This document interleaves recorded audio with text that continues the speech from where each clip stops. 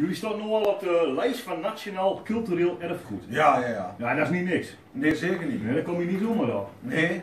De Bloemtoren van Lichte voorzitter bijvoorbeeld ook al. Ja, dat is waar. Ja, ik dat zo zie, sommige van die rasjes hier die kunnen ook wel op de. Nee.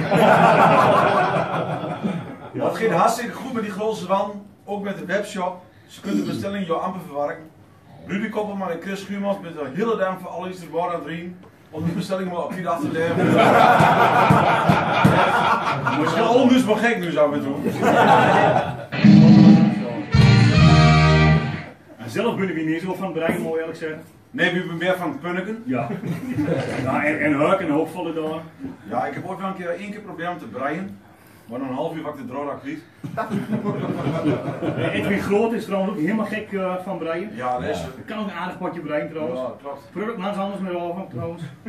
Dag en nacht is hij dan breien. Je zegt in de zin Madonna een keer van uh, Smons. Oh, schatje. Ik heb toch gedroomd dat ik de hele nacht heb zitten breien? Ja. Nou zeg ik van, ik heb gedroomd dat ik de hele nacht wilde seks heb gehad. Dus vindt het wel met mij of niet? Nee, jij was aan het breien zeg.